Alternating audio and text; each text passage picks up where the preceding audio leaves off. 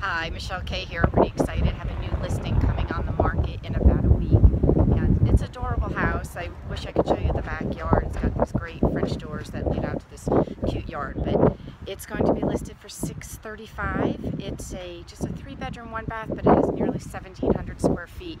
And I just want to pan around and show you really cute street. It's, um, you can see the sign up there. It says not a through street. So it's not quite on a cul-de-sac, but almost. Not a lot of traffic on here. A, as a car goes by. But really cute house. Really cute house in the area.